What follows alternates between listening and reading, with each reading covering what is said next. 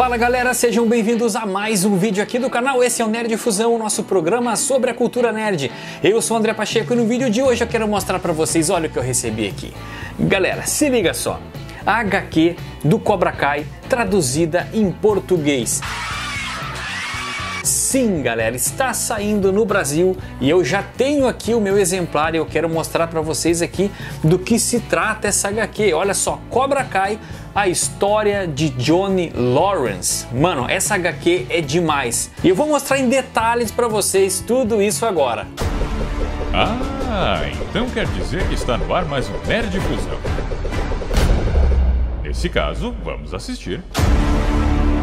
Então, galera, já está no Brasil a HQ traduzida de Cobra Kai. Essa HQ já tinha saído nos Estados Unidos em quatro partes e essa HQ, se não me engano, foi lançada em outubro de 2019 e só tinha disponível nas versões digitais para nós brasileiros adquirirmos. E agora a editora Excelsior traz para o Brasil essa HQ com capa dura. Olha só que maneiro, galera. Um papel colchê muito legal, brilhoso, com as cores completamente vivas e traz essa história de Johnny Lawrence. E qual é o conteúdo? Qual é a história dessa HQ? Se liga só é a história do Johnny Lawrence, é a visão do Johnny Lawrence do primeiro filme Karate Kid. É como se você estivesse assistindo todo o primeiro filme, só que como Johnny Lawrence no papel do protagonista. Então todas as cenas do ponto de vista do Johnny.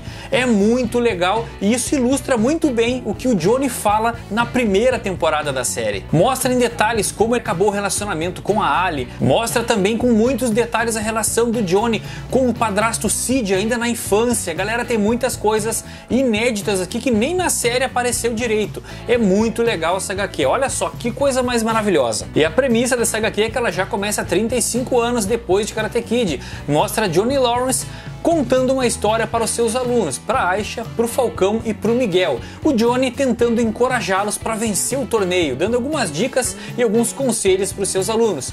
E nesses conselhos ele conta toda a sua trajetória no primeiro filme Karate Kid. Outra coisa bem interessante também que é abordado aqui é a relação do Johnny com o Chris. Então mostra que o Johnny sempre foi um cara muito quebrado, seja pela ausência paterna, porque o padrasto dele é realmente um verdadeiro babaca, e o Chris mais ainda, o Chris sempre com a sua mão de ferro tentando moldar o Johnny para ser um vencedor nas competições. E se engana quem pensa que é uma historinha para criança, a linguagem é bem pesada, tem bastante palavrão, assim como tem na série também, então mantém a mesma dinâmica da série. O roteiro é de Denton J. Tipton, a arte é do Kagan MacLeod, as cores é do Luiz Antônio Delgado, a ilustração das letras por Neil Yutkate e a tradução é da Jana Bianchi. E o desenho do Kagan MacLeod está muito legal, ele respeita muito bem a fisionomia dos atores, mas ao mesmo tempo ele consegue transformar isso como se fosse mesmo uma história em quadrinhos. É muito legal. Ele não é um cartoon infantilizado, lembra demais as HQs da Marvel, da DC, e é muito bacana, as cores muito vivas, as texturas muito legais, não tem aquelas cores opacas, tudo tem sombra, tá muito bem feita essa HQ. E pelo que eu tô vendo aqui, Está descrito como Book One, ou seja, deve ser o livro 1, deve vir mais coisas por aí. E eu espero demais que tenhamos outras edições. O que é legal, se você quiser adquirir essa HQ agora, galera, o link está aqui na descrição. Tá com frete grátis, com todo o conforto e segurança da Amazon e você pode parcelar em quantas vezes quiser.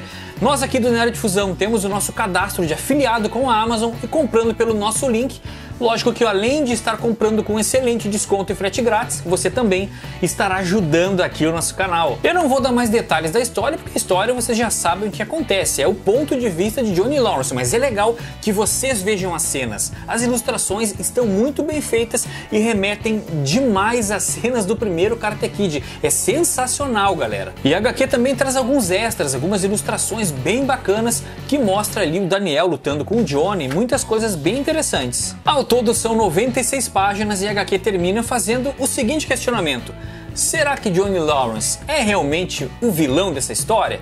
Aqui vocês vão descobrir um pouco mais como pensa Johnny Lawrence e tudo o que ele passou nessa sua trajetória até a chegada na série Cobra Kai. E galera, de verdade, os estoques estão indo embora. Por exemplo, na livraria aqui da minha cidade tinha somente uma edição e já não tem mais. Então compre HQ aqui no link que está na descrição. Quando chegar a sua HQ, posta uma foto lá, marca o Nerd Fusão, que eu vou ter o prazer de ir lá comentar todas as publicações de vocês com a sua nova HQ Cobra Kai, a história de Johnny Lawrence. Por enquanto é isso, um abraço a todos e até a próxima, pessoal!